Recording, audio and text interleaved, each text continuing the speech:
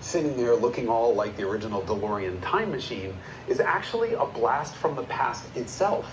Everything said about the Lemoo 2 applies to the Cybertruck. It's certainly the most insane thing on the road, and it's definitely going to piss a lot of people off because of it.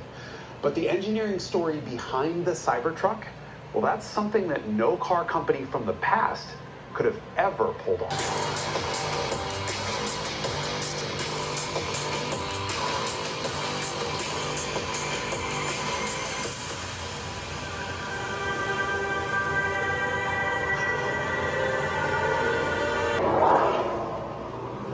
Elon's goal was an unconstrained rethink of the pickup truck with more utility than a regular full-size pickup truck and driving dynamics to match a Porsche 911.